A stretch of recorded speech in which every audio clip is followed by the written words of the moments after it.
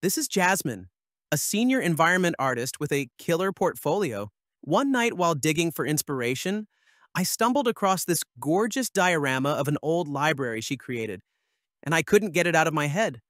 So I thought, what if I tried making something in that same spirit? After breaking down her approach and soaking in every detail, I fired up Blender and got to work. In this video, I'll take you through some of the key steps I followed to bring my own version of this scene to life, from modeling and lighting to texturing and final tweaks.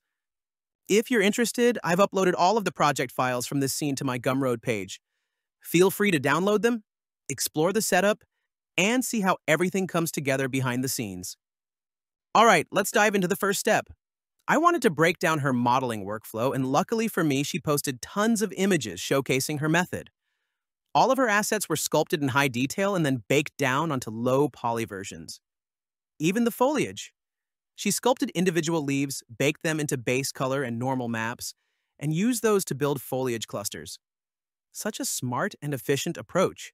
I also picked up on a few other clever details, but I'll walk you through those as I build my own models so you can see them in action.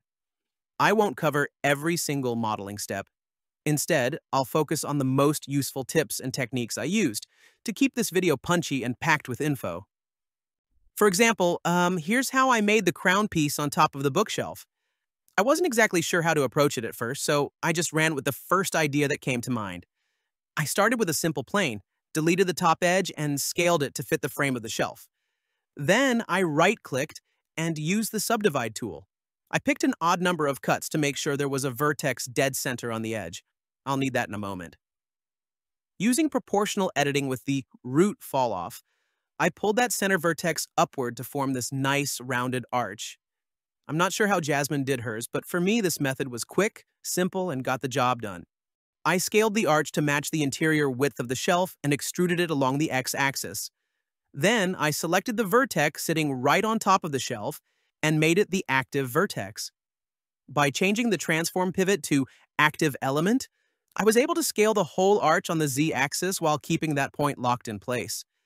And just like that, I had a solid base for the crown detail, ready to be shaped and refined.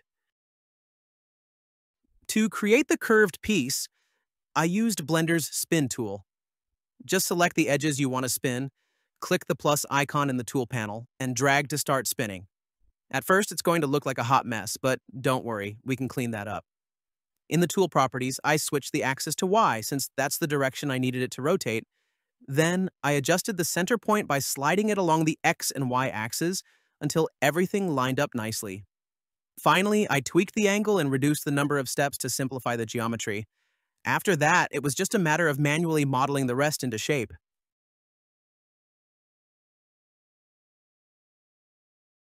One thing I noticed about Jasmin's models is their slightly irregular silhouettes.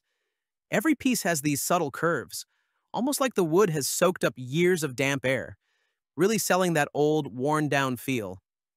At first I started pushing things around manually, but then I remembered there's a smarter way. I added more geometry to the mesh to give myself room to work, and then brought in a lattice modifier. I assigned the shelf as the target and cranked up the lattice resolution. Since it's just a deformation cage, we don't have to worry about performance. From there, I used proportional editing to gently nudge and warp the shape, giving it that perfect, lived-in imperfection. Once I finished modeling the base shelf, I duplicated the mesh, one copy for the low poly and the other for sculpting a high poly version. To get more control during sculpting, I separated each part of the shelf into individual pieces. You can do this easily in edit mode by pressing P and selecting By Loose Parts. Then I added a remesh modifier to every piece and set the voxel size to something small, 0.1 centimeters in my case, which gives a really nice density for sculpting. You can go denser if needed, or even switch to Dyntopo if you prefer more dynamic control. Just make sure your mesh is watertight. Remesh doesn't play nice with non-manifold geometry. Once the remesh was applied, I jumped into sculpt mode. I use the clay strips brush to carve in the wood grain, draw sharp for cracks and crevices, and scrape to chip away those edges and give the wood some character. I followed the same modeling approach for all the other assets in this scene. Since there isn't much more to cover on that front, let's jump into texturing. For every asset here, I used a single base material, a smart material I custom built for stylized models. It's packed with all the essential layers to quickly give your assets that handcrafted, painterly vibe. And hey, if you want to try it out yourself, you can grab it for free from my Gumroad page. Now, I've already covered detailed texturing workflows in previous videos, so in this one, I'll just show you a few quick tricks to get clean. Simple results in no time. Let's start with the clock. I found this awesome image over on Pixabay, an amazing site where you can download high-quality images for free as long as you credit the original creator. So huge thanks to T-Farm for making this beautiful vector graphic. It was the perfect starting point for my clock asset. I imported the image into Photoshop and quickly removed the clock hands. Then, I added a simple background color just so I wouldn't have to deal with transparent parts later in Painter. Now, on Jasmin's clock, I noticed that the numbers looked slightly elevated. And I really liked that effect. But instead of sculpting them by hand, I went for a faster solution. A height map. Height maps are black and white images that tell your shader where to create the illusion of height. Super handy. While you can create one in Photoshop, I've got a better tip for you. I used a free program called Materialize. Links in the description. Just load up your color texture, hit generate under height map, and boom, you're done. You can tweak the settings to your liking, but overall it's way faster and more intuitive than trying to nail it by hand in Photoshop. I imported the textures into Painter and got started. First, I added a fill layer and dropped the color texture into the base color input, now I could use the projection tool to stamp it where I want, but I prefer this method because it gives me more control. Once the texture was in place, I added a black mask to the layer and simply painted out the parts I didn't need. Next, I plugged the height map into the height channel of the same layer.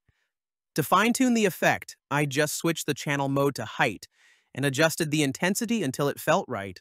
Oh yeah, don't forget to invert your height map, as this map has incorrect values for the bumps we need. I've got one more quick tip for you. I wanted to create the land formations on the globe as fast as possible, and painting them by hand? Not my thing. So instead, I used a procedural mask. I added a fill layer to a black mask and dropped in the 3D ridged noise fractal as the generator. Crank up the contrast, tweak the scale a bit, and boom, instant continents on your map.